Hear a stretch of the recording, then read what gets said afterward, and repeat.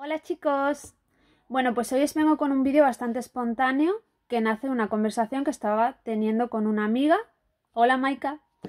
Y la conversación era sobre, a ver, yo le estaba dando consejos sobre qué baraja escoger cuando quieres aprender a echar el Petit Lenormand, pues qué baraja es mejor para escoger, porque la verdad es que hay un catálogo muy amplio hoy en día, que no es el catálogo que había hace 10 años, que solo había las típicas clásicas.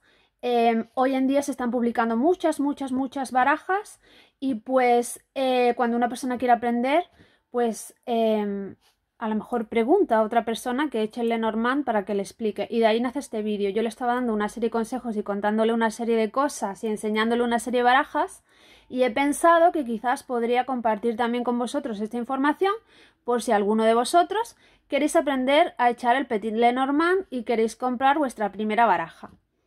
Entonces, tenéis una entrada en el blog sobre qué es el Petit Lenormand, eh, que cuando publique este vídeo y ponga en stories que lo he publicado, os dejaré el enlace por allí. Eh, porque el Petit Lenormand es un oráculo eh, que no se echa como el tarot ni como otros antiguos oráculos europeos como la Vera Sibila italiana, el Eteila, el Bellini, el Keeper. El Petit Lenormand tiene una forma específica de echarse. Bueno, ni como la baraja española, que se me ha olvidado. tiene una forma específica de, echarse y hay que aprender cómo se echa y hay que aprender qué es lo que viene en la baraja. Entonces, em, para aprender, eh, yo considero que lo mejor es que usemos los que son más clásicos, eh, reproducciones de los antiguos y entonces, bueno, os voy a dar una serie de consejos. Yo pienso que si queréis aprender, eh, cuando empecéis y busquéis Em, online barajas, os van a aparecer una serie de barajas como estas, que son muy bonitas. Em, fijaos que yo os enseño, por ejemplo, esta que es egipcia, que es preciosa, que además la autora es súper agradecida porque cada vez que pongo una foto de su oráculo me escribe y me da las gracias. Em, este, que es de Robert M. Place y de Rachel Pollack, también es precioso y muchos otros. Tengo uno celta que no lo he encontrado porque tengo muchas cajas y no sé dónde está, pero es muy famoso. Creo que, el celta que digo es eh, Kathleen Matthews, creo recordar. Em, bueno, pues os vais a encontrar con algunos muy bonitos. Estos son un poquito más sencillos, tampoco son tan recargados, pero os vais a encontrar con mogollón de oráculos eh, Lenormand, Petit Lenormand, que son de temática celta, steampunk y de un montón de cosas eh, que hace 10 años no existían, de hadas, eh, de todo lo que imaginéis.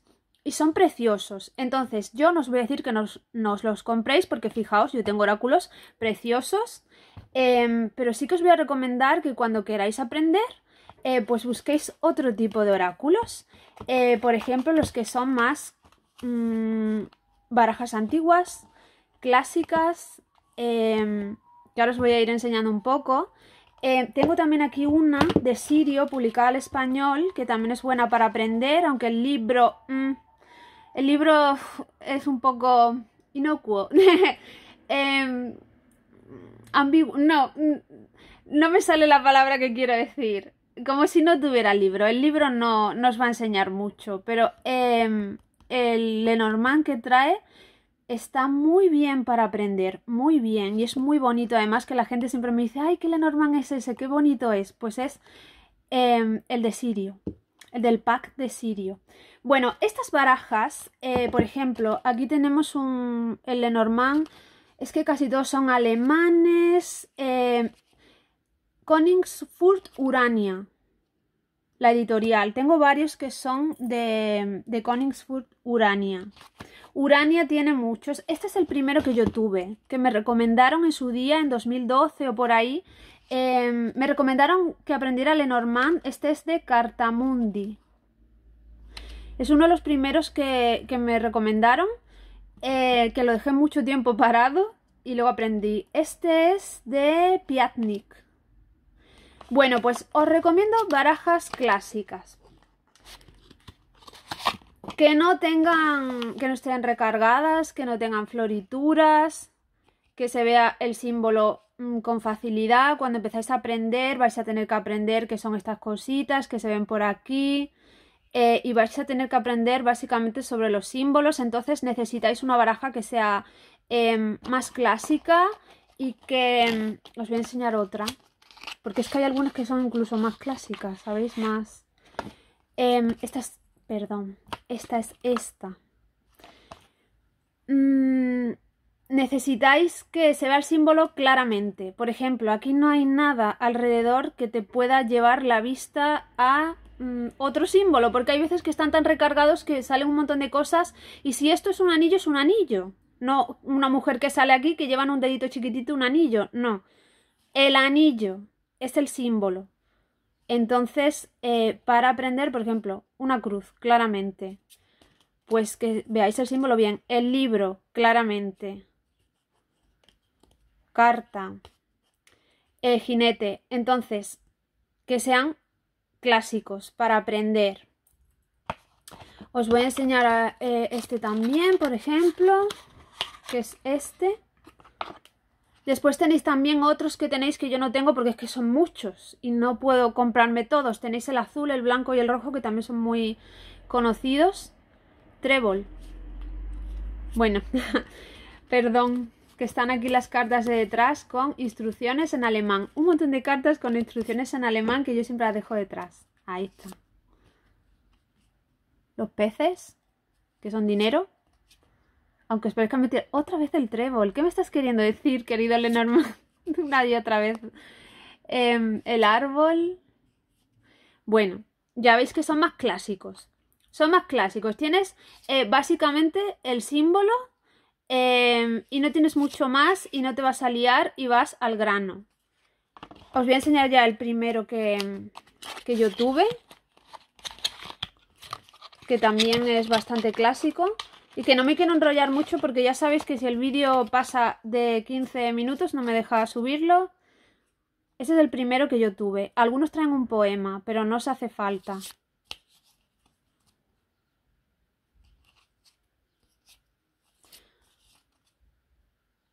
los ratones. En fin, em, es importante que busquéis una clásica. Como veis, hay variedad para aprender. ¿Qué tienen en común todas estas barajitas? Barajitas, eso es lo que tienen en común.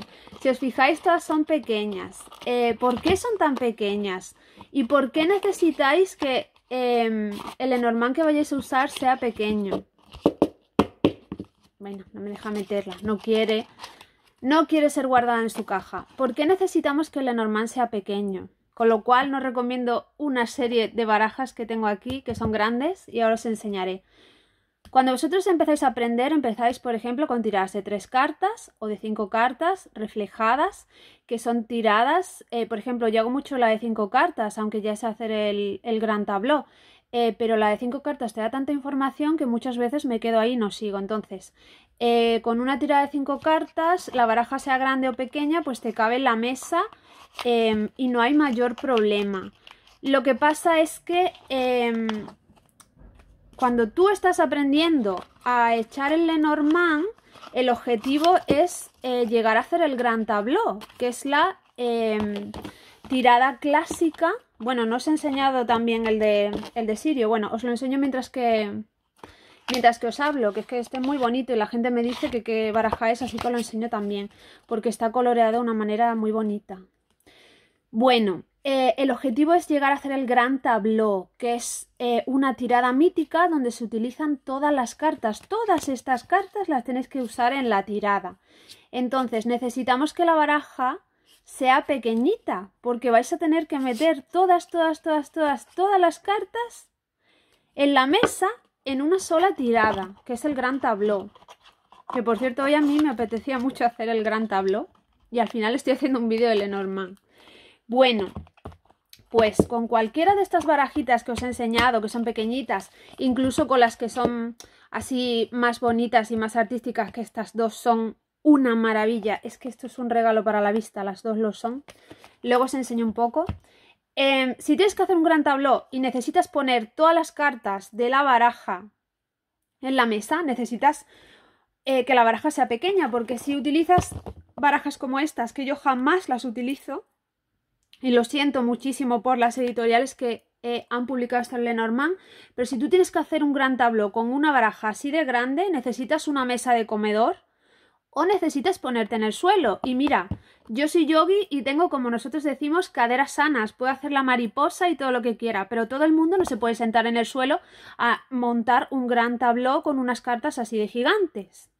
Entonces, la persona que ha diseñado esto claramente no es cartomante ni sabe mucho de Lenormand, porque el Lenormand tiene que ser pequeñito. Es que fijaos, fijaos la diferencia. El Lenormand tiene que ser pequeñito. ¿Cómo vas a hacer un gran tabló con unas cartas así de grandes? Entonces, esto es otro consejo. Vais a ver estas cartas, son muy bonitas, claro que sí. Y además, de hecho, esta, si la veis, es una reproducción de un Lenormand clásico. Entonces, es muy bonito. Aquí tenéis, es una reproducción de un Lenormand clásico. Pero yo no puedo hacer un gran tabló con esto, chicos, por muy bonito que sea por delante y por detrás.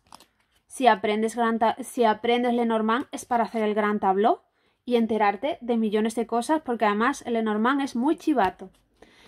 Con esto no puedes hacer un gran tabló. Entonces mi consejo es, si queréis compraros alguna grande porque os parece muy bonita y porque, mira, porque os ha gustado y queréis gastaros el dinero, bien.